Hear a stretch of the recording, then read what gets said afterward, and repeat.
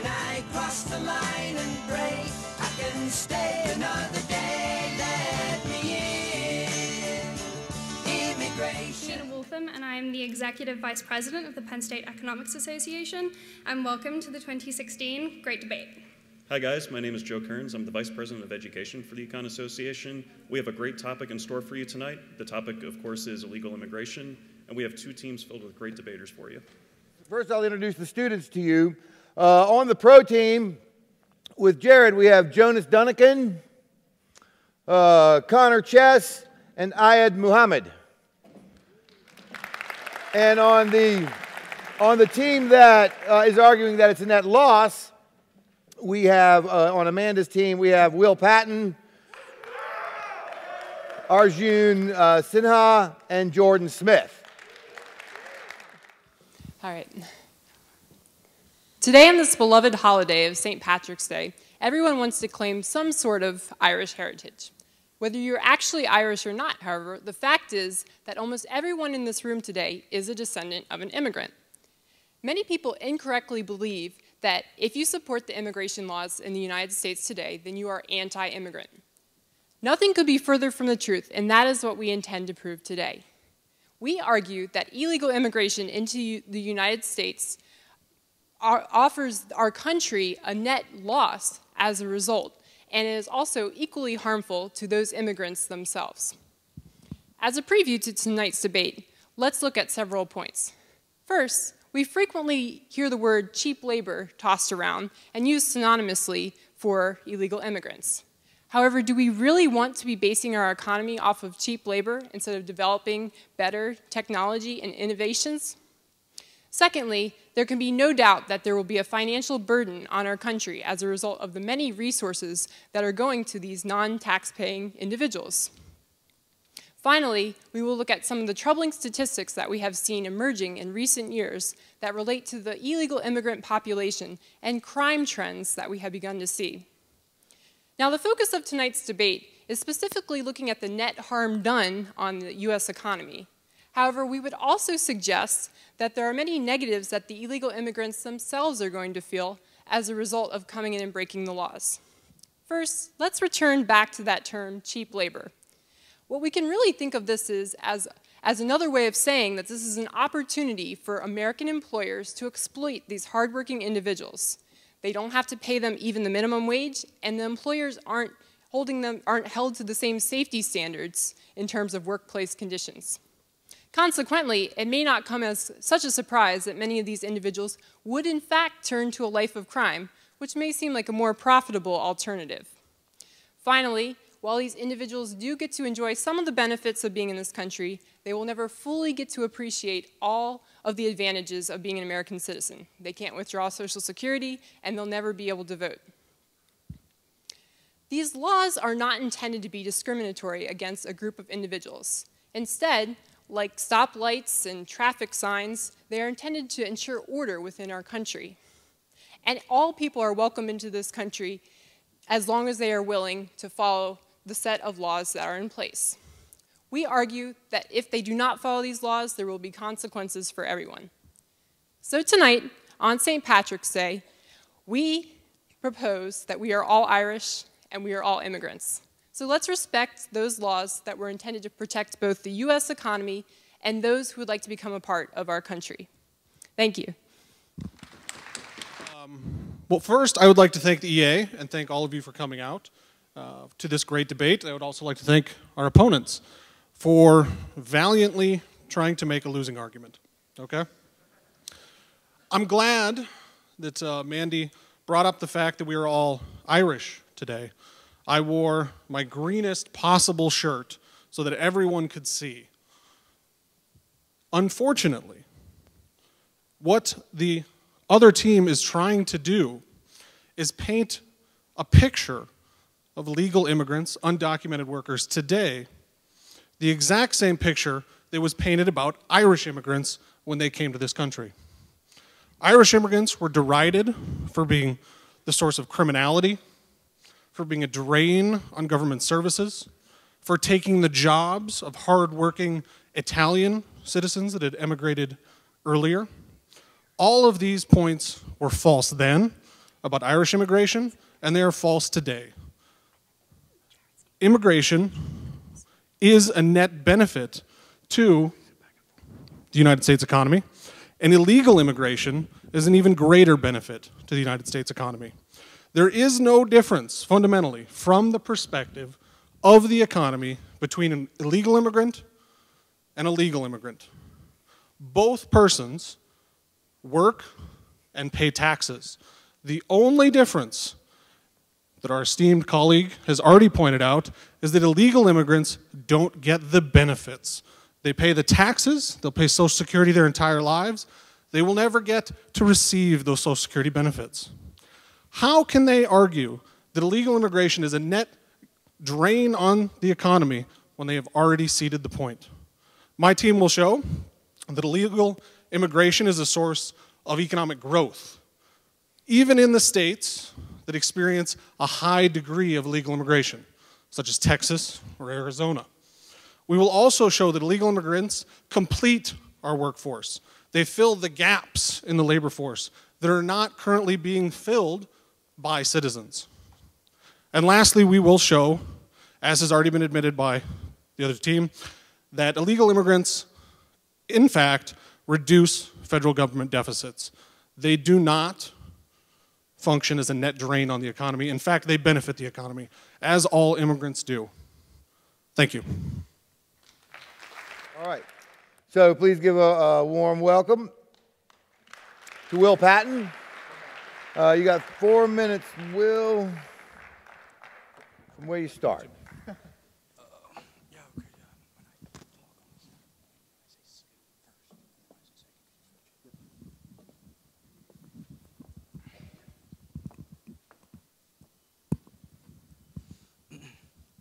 Throughout this country's history, millions of people have left their homelands in search of a new life in this country.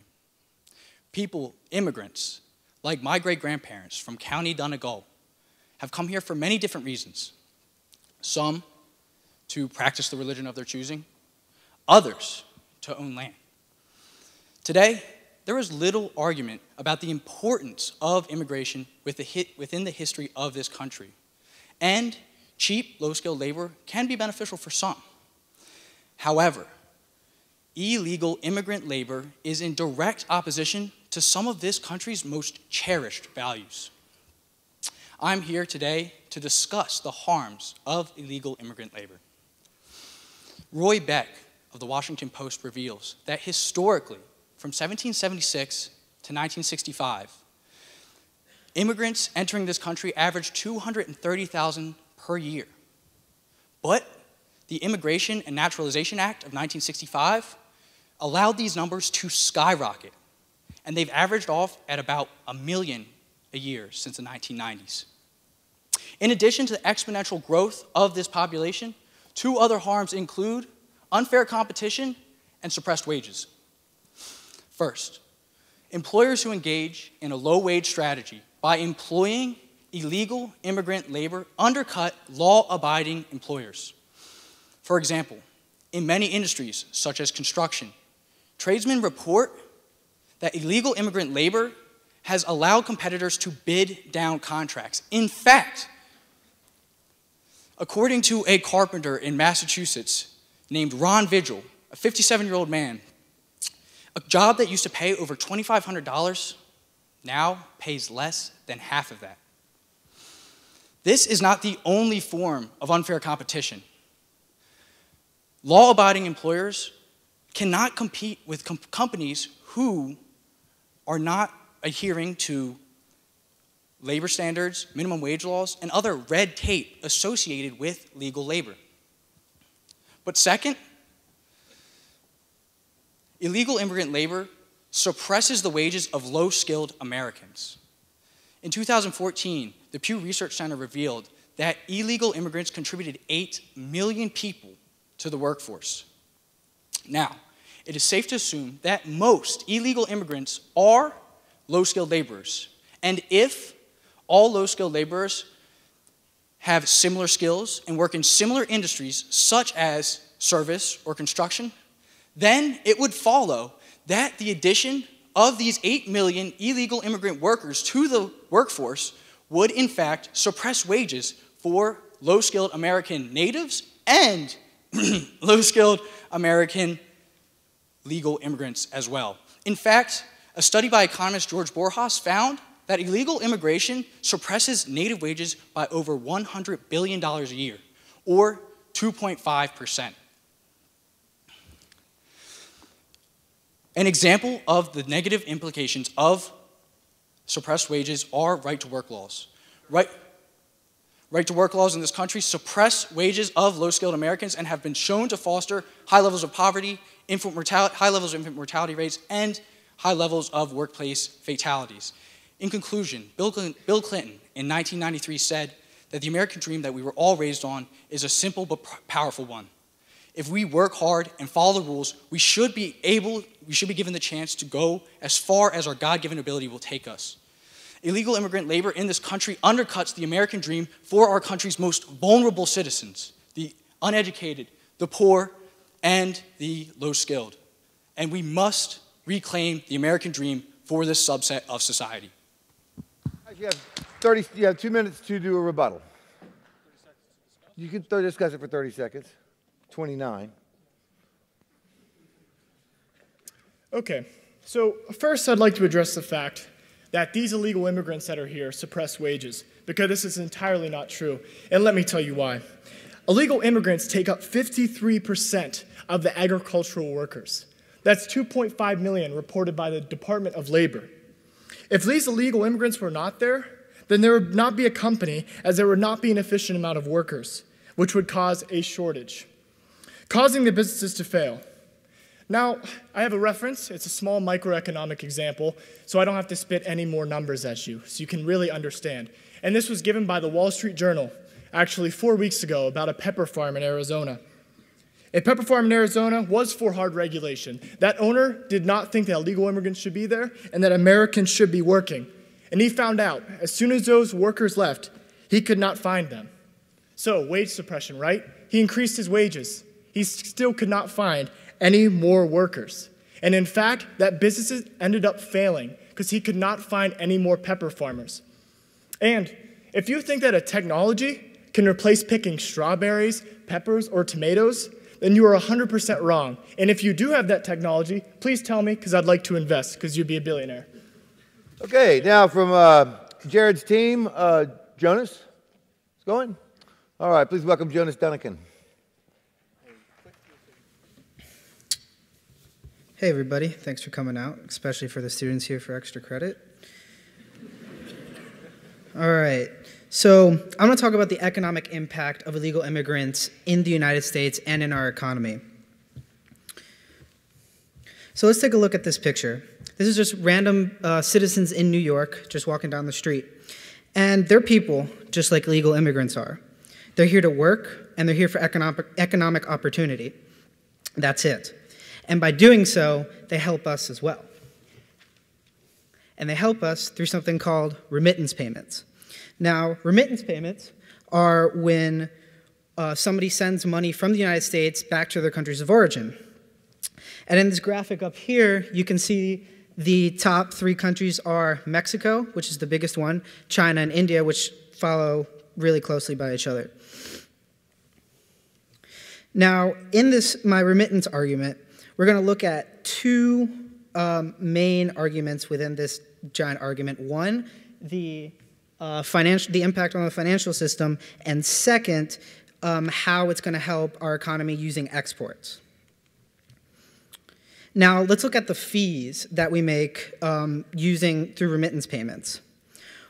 One, that the total amount of remittance payments in 2009, which is the closest statistic I could find, was $48 billion from illegal immigrants only, total. That doesn't include legal immigrants. The fees added on top of that $48 billion was 9%. And the revenue made from those fees totaled $4.32 billion in 2009. Now let's take a look at this in an even closer context. How many Chipotles could you buy with this? Oops. Hold on. I'll get to that in a second. You can buy about 610 million burritos. And about 1.08 Donald Trumps. Now, let's take a look at this impact. This has the potential of being a $500 billion industry if we choose to take the road to expanding it. Not only will we, in, not only will we gain a $500 billion industry, but we'll also gain new customers from poorer regions around the world. They're going to be more financially literate, and more financial, with that financial literacy, they'll be able to get more bank loans. They'll be able to use more products and services from our banks. And we're already seeing this through the expansion of Citibank in Mexico and in Central and South America. Now let's take a look at exports.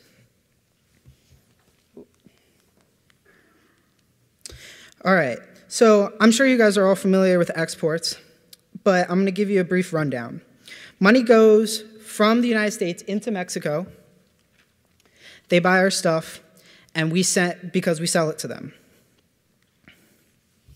Now we're going to take a look at the biggest, one of the three biggest beneficiaries of these um, exports. The first one being Arizona.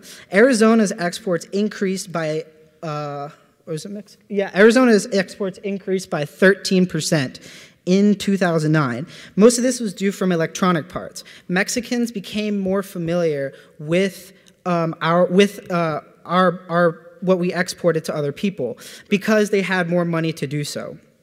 Now let's look at the biggest contributor, California, which is about 14%. And they increased 14% because Mexicans started buying more plane parts from us. And that's solely from the fact that we're sending money home. Uh, illegal immigrants are sending money home and they're buying things from us. And this is not only happening in Mexico, but happening in other countries as well. India and China and Mexico just happen to be the, the three biggest. Now, what about you? How does this impact you? One, we're expanding industry that's already in the United States, and we're creating an industry that doesn't exist yet, which is potentially worth $500 billion, which means jobs for you, jobs for me, jobs for everybody. Thank you. 30 seconds to figure out what you want to do, and then two minutes for a rebuttal. So Jhonas talked up here about a little bit about remittances, exports, and some other economic benefits that uh, illegal immigrants supposedly provide. Let me talk to you a little bit about remittances. Based off a Forbes article, the IRS says that illegal immigrants can file and claim refunds for the last three years under the Earned Income Tax Credit. So they can, they can earn remittances. But let me tell you, 70% of those remittances go back to Mexico. That's money we're losing off the top right there. On top of that, they game the system. The same program that they use has been known for billions of dollars being used in fraudulent funds. Lastly, nextly, excuse me, what if you never reported any income as an illegal immigrant? Under President Obama's executive action, an illegal immigrant can get a social security number, claim the earned income tax credit for three open years, and the IRS sends three years of tax refunds back to them without any true credibility to who they are and how they're in this country. Nextly, Jhonas talked a little bit about exports. This is good because illegal immigrants are a little bit like slave labor. Their wages are depressed.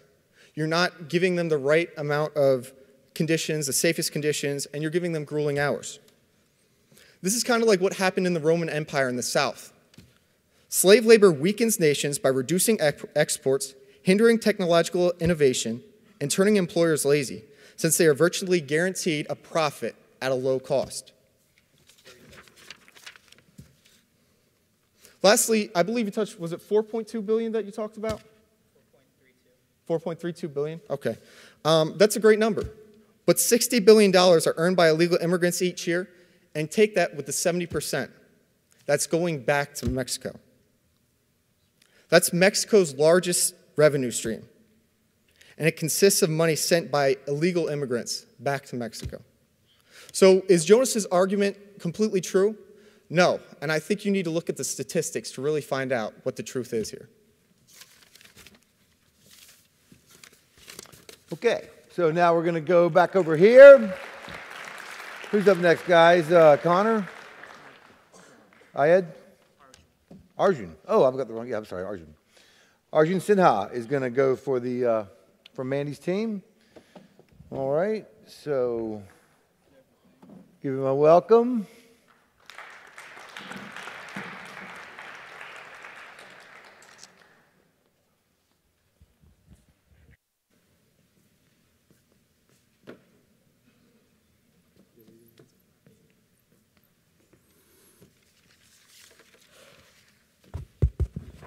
Evening, ladies and gentlemen. Now, moving in, first of all, it's important for us to understand the motion itself and the background of the motion before we delve into the arguments which explore the different nuances of illegal immigration and the repercussions it has on the economy. You see, there is a reason behind why the state refers to them as illegal immigrants or illegal aliens and not as illegal citizens. The state has always made a clear distinction between a citizen and a non citizen. Now, why is it important for us to know this today? That is because a citizen is afforded certain privileges that the non citizen is not. It's something that has happened since the times of ancient Rome. Will and Jordan here, and practically everyone on stage here, have certain privileges by virtue of being born in this country that I don't. And I accept that because that is the law.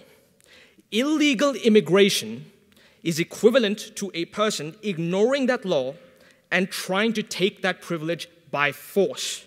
And we tonight have people here trying to convince you that that is somehow good for you.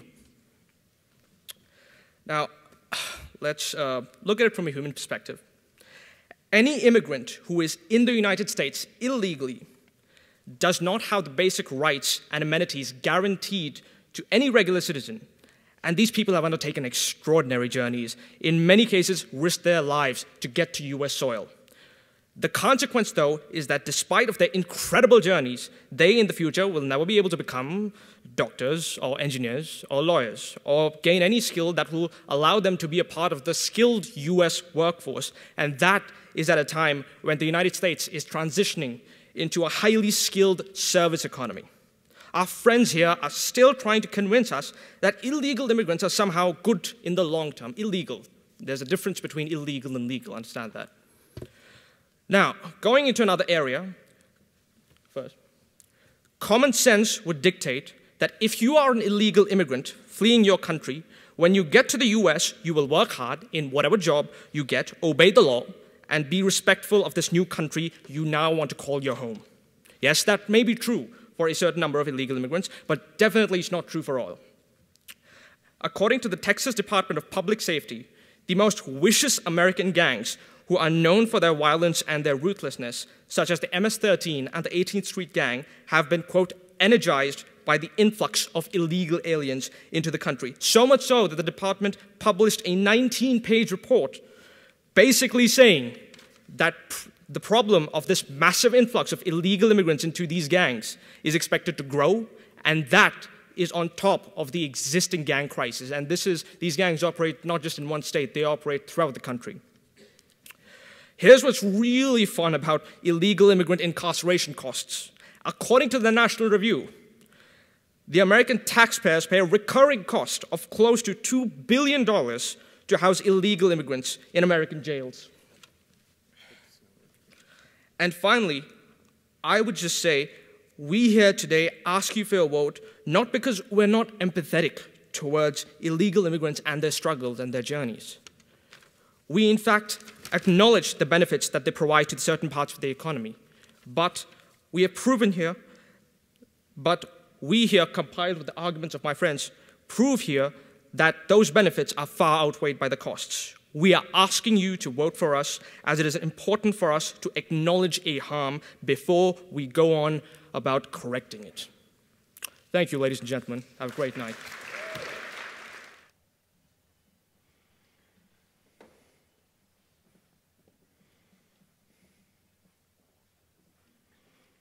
Okay, you have two minutes for a rebuttal.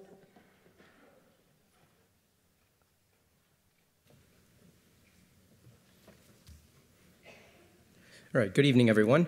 I'm actually glad that the opposition brought up this point on crime because I literally had so much on it that I had to take it out of my actual speech. Um, but before we move into this commentary on crime, let's look at let's look at what the reality of uh, illegal immigration with with uh, correlation to crime is. So uh, several statistics have shown between 1990 and 2013, we know that illegal immigration has increased uh, all the way up to over 11 million uh, undocumented immigrants in the economy. However, coinciding with that increase has been a 48% decline in both violent and property crimes across the United States. How does that How does that support the opposition's argument that somehow an increase in Ill illegal immigrants is correlated with an increase in crime? Because the data surely does not support that. But we're not saying that more immigrants leads to lesser crime. We're, we're just making the point that clearly it does not increase crime. But even if we look at the federal murder statistics on illegal immigrants, we know, we see the fact that 9.2% of illegal immigrants account for uh, federal murder, murder cases. However, those federal murder cases, 9.2%, equal only eight cases because of the fact that federal court cases are such few, uh, uh, uh that such few cases are ha handled at the, at the uh, federal level. And when we compare that to the FBI statistics on 14,196 murders committed across the United States, and compared to just eight, which equates to 9.2%, we realize how skewed the statistics are in the, uh, in the argument against illegal immigration and correlation to crime. In fact, a lot of studies show that native-born U.S. that compared to native-born U.S. citizens, illegal immigrants are two to, two to five times less likely to be incarcerated than those people. So putting all these arguments into perspective, looking at the actual stats, not, not skewed statistics, we can, see, we can see this larger picture, the reality that, that, uh, that there is no correlation between illegal immigrants and crime. And on that note, we are proud to propose. Thank you. Okay, I believe we have one last argument on each side. So who's going up here? Uh, Conner? Conner Chess.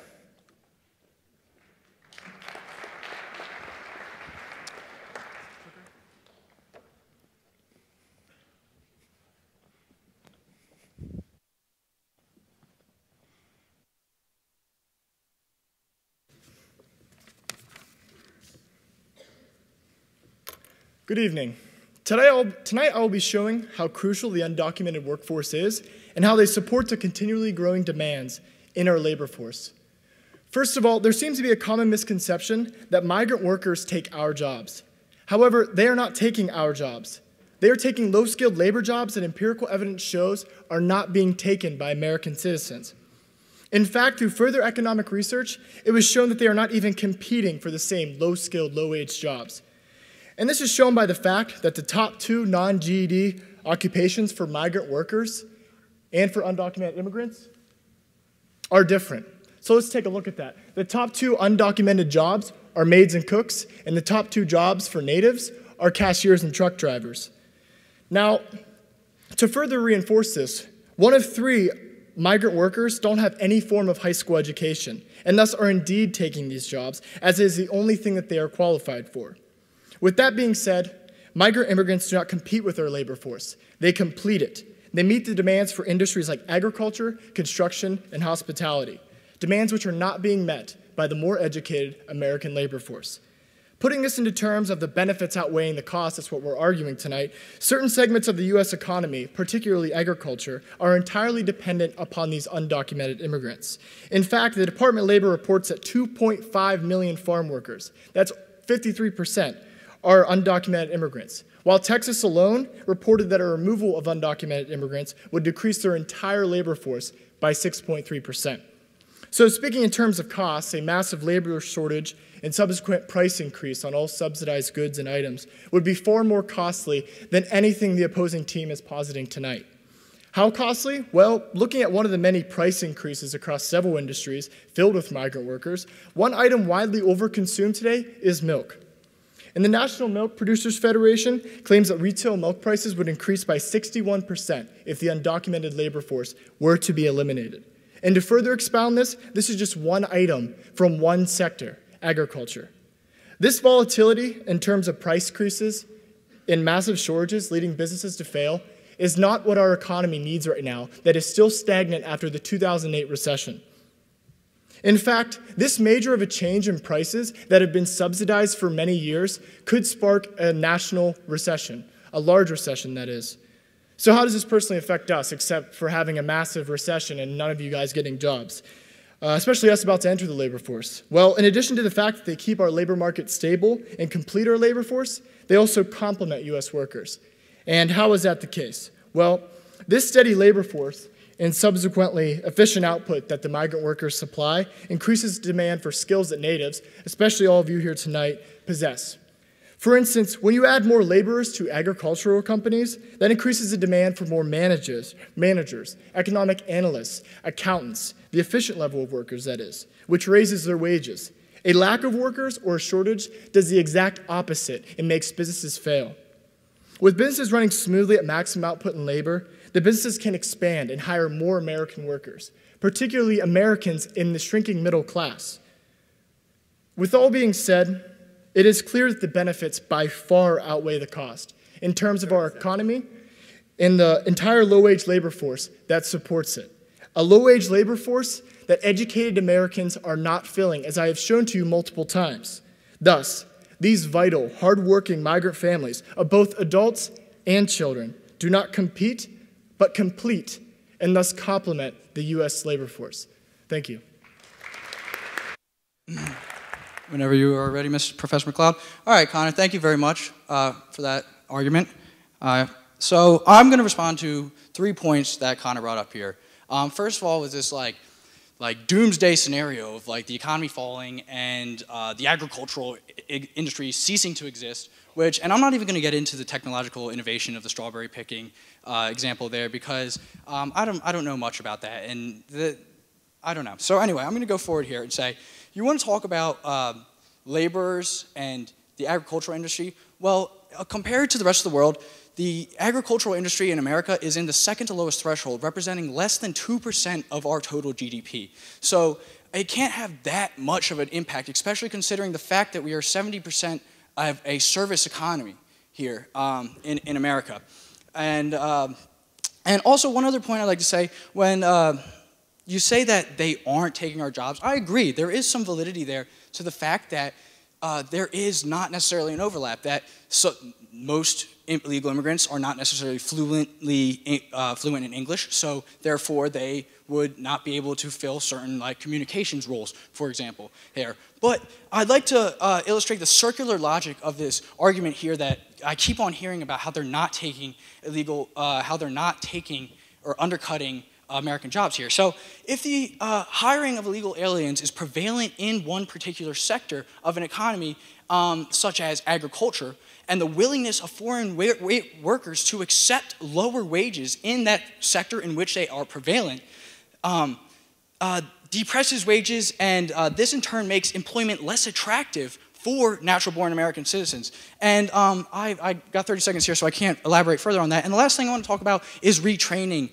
uh, retraining here in the job market here. There are victims of immigrations. The immigrants do displace workers, and this is particularly notable in economic downturns when business and investment are depressed. Displaced workers, like a 57 year old uh, janitor, perhaps, who spent his whole life in one industry, you, are you honestly going to expect him to just retrain and switch sectors because he's been out because he's been uh, crowded out by a, a lower wage by a, a, foreign a foreigner? I don't think so. So in conclusion here, uh, I just wanted to talk about agriculture is a small percentage of our economy, our GDP, and there's circular logic in the they're taking our jobs thing. And uh, think about think about Bob, my uncle Bob, who uh, who is janitor for, for 50 years, and he, he doesn't have the skills or, or, or resources to retrain. He wants to retire soon. So.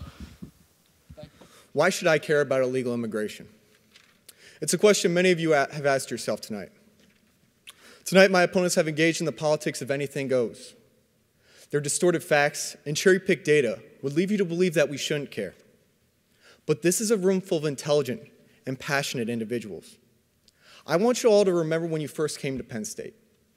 You said to the rest of the world, I believe in restoring and uniting this university.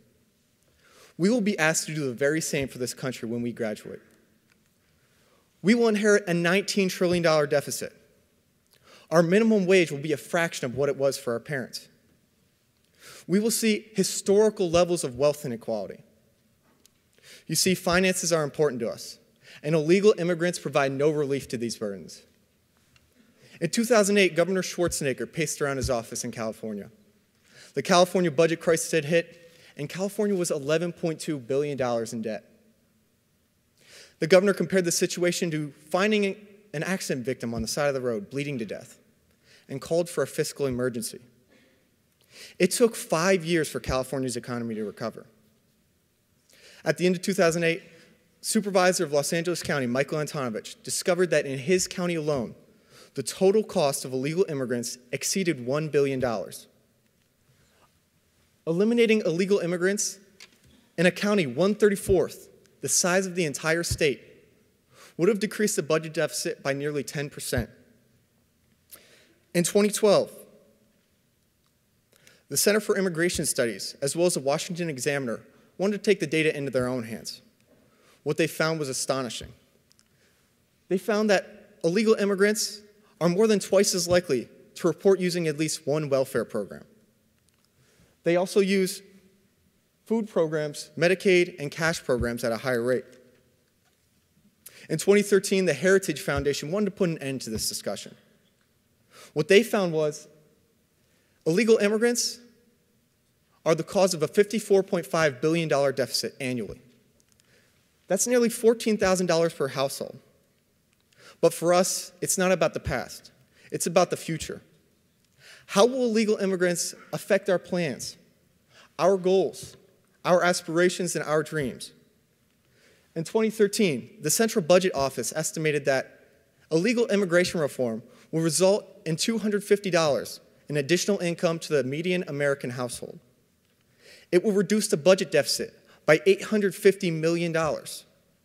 And by 2023 and 2033, real GDP would increase by $700 billion and 1.4 trillion Tonight, your decision is about coming together and restoring this great country, block by block, neighborhood by neighborhood, county by county, and state by state, just like we did here at Penn State. Show my opponents we are the next Americans, and our patriotism has no side. There is no anti illegal immigrant America. There is no pro illegal immigrant America. There's only the United States of America. Prove to my opponents we care about illegal immigration because we care about our future. Thank you. We're in the home stretch. Bear with me. All right, guys. So my opponent's come up here and he's basically said that illegal immigrants have detriment to government policy, fiscal policy, and specifically, we're looking at California. And they receive all these benefits and whatnot. You guys got the gist of it. Um, but I have some counterexamples. California, because of illegal immigrants, increased their exports to Mexico, just Mexico alone, by 14%, which is greater than the 10% statistic that was caught out by the budget deficit um, in California.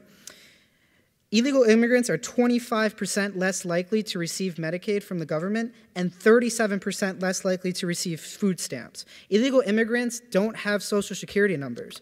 They are unable to receive benefits from the government. And illegal immigrants complement our workforce, as, as uh, my partner has said. And we've shown time and time again that not only do they complement our workforce, but they expand it through the use of sending money home. Now, illegal immigrants are here and they're not going anywhere. So we might as well make the best of it, right? Illegal immigrants increase productivity, increase profit, and fill in the gaps that we need to fill that we can't fill with the labor force that we have now. Because, believe it or not, we're just too educated to do so.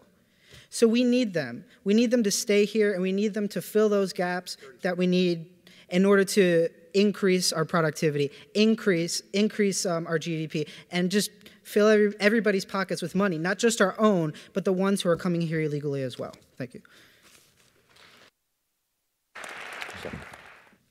So there's a common uh, belief and prevailing thought amongst especially the opposition side that illegal immigrants are a drain to our economy, that they consume all these benefits and they take advantage of our system even though they they don't belong here.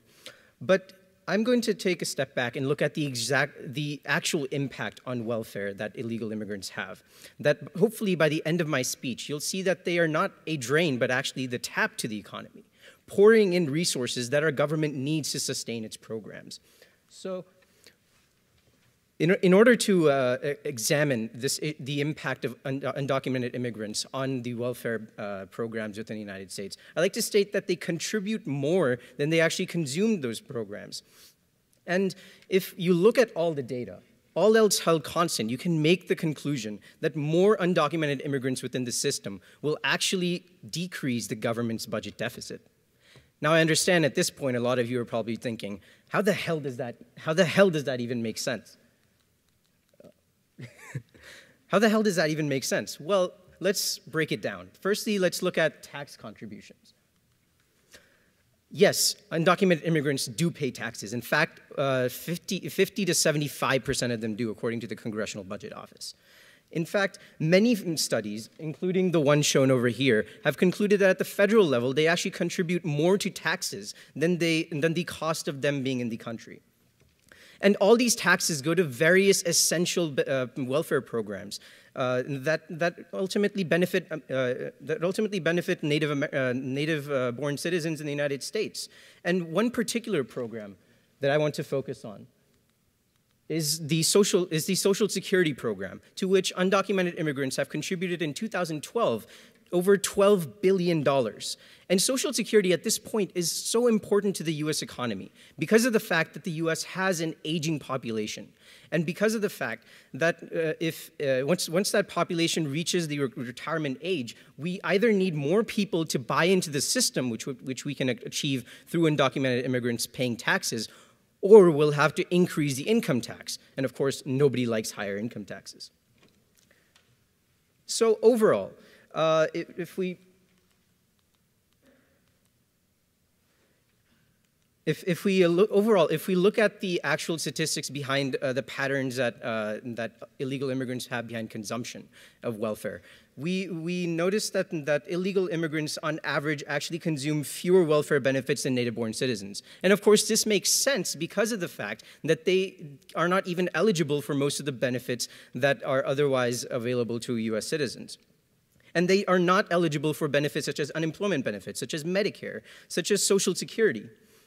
And more importantly, the Cato Institute in 2013 conducted a study and concluded that, uh, that when compared to native-born citizens, undocumented immigrants are 25% less likely to uh, receive Medicaid and 37% less likely to receive food stamps.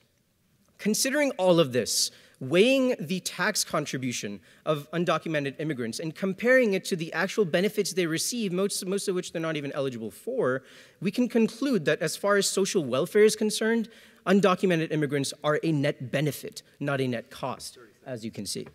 Thank you very much.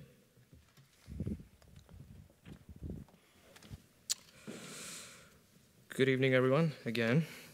Now, I'd like to rebut several of their arguments, including uh, the argument made by the previous speaker and certain speakers before him.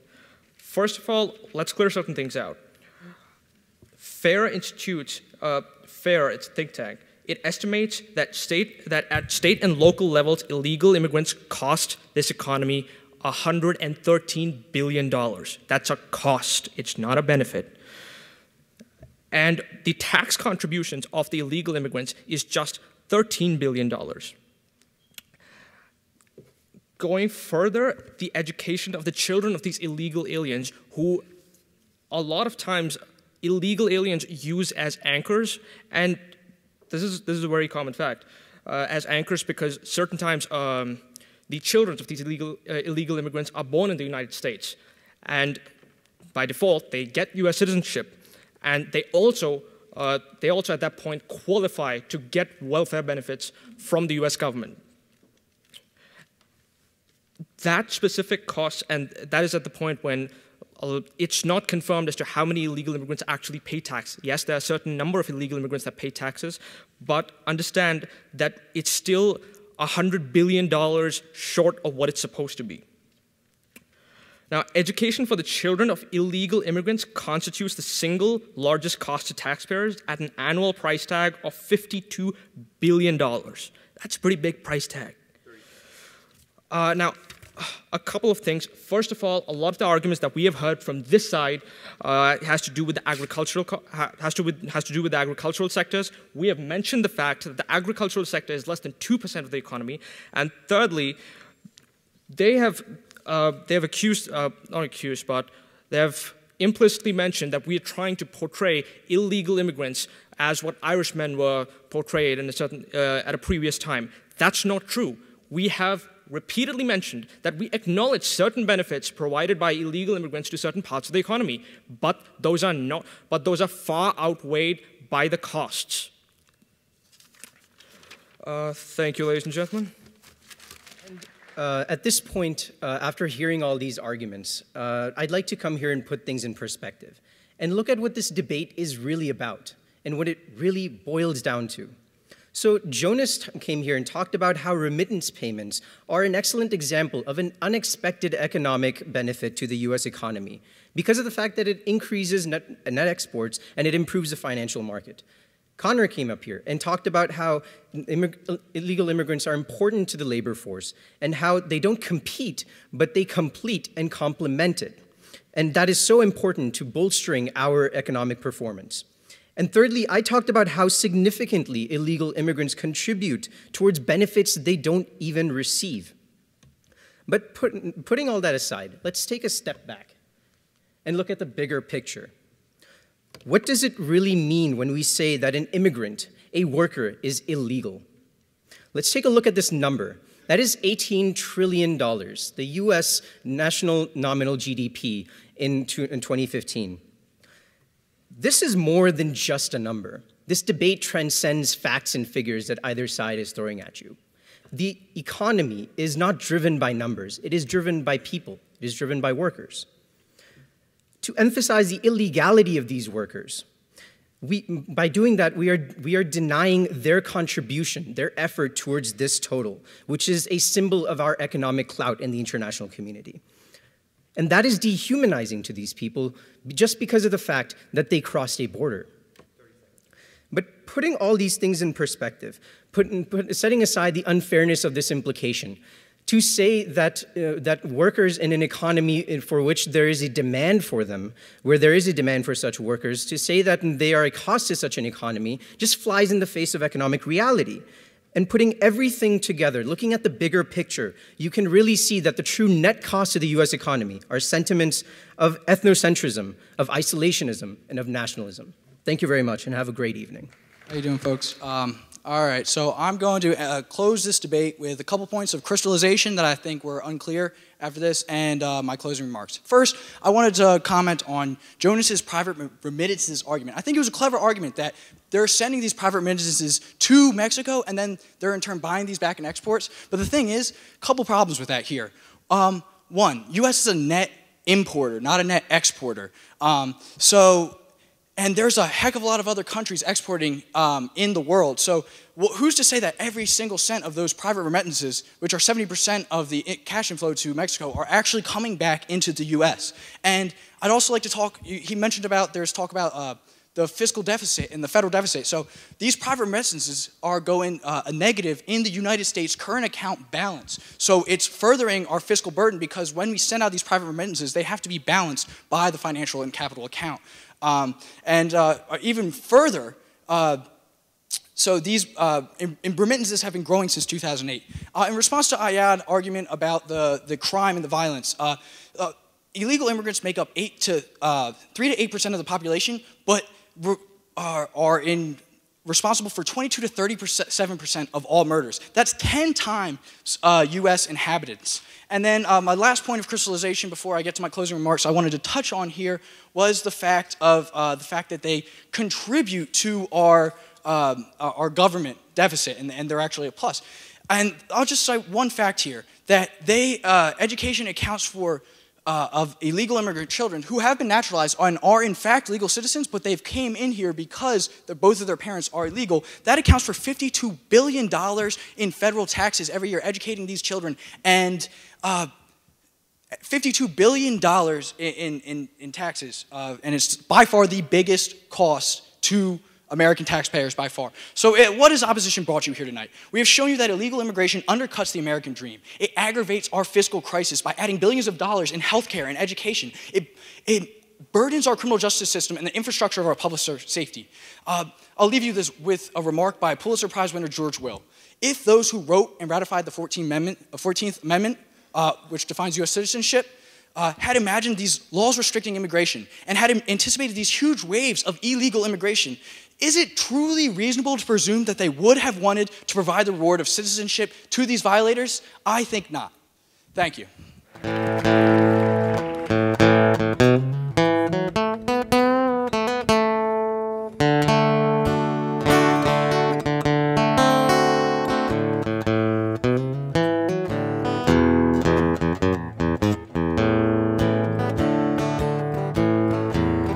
I want to come the great USA. The people are telling me to stay away. I'll pick your fruit and work for very cheap.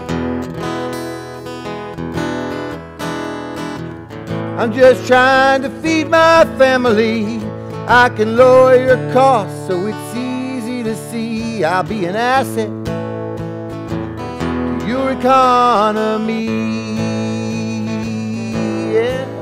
But now, or maybe we better build a wall and spend the money so your wages don't fall. Protect the jobs of the workers in the States. Keep the terrorists out of our land. Maybe it's time to take a hardened stand to keep our country safe and great. Now, I'm not Irish, I'm Scottish. My great grandfather came from Scotland, settled in Baltimore, and then began working any job he could find. We took over the land when the guns were hot and called ourselves the great melting pot. Do we want to leave that name behind? Should we offer amnesty, giving millions a chance at self sufficiency? Or lock them up and send them all away? Some say the immigrants will lower costs. Some say too many jobs are lost. Now we want to know what you have to say. Should we tighten our immigration laws or let the workers come into our halls? That's why we're having this important debate. So get your phones out now. I think we got the problem fixed. Let's all vote to welcome immigrants or just put them on a boat. Because a better economy is what we all want to create. Yeah, better economy is what we all want to create.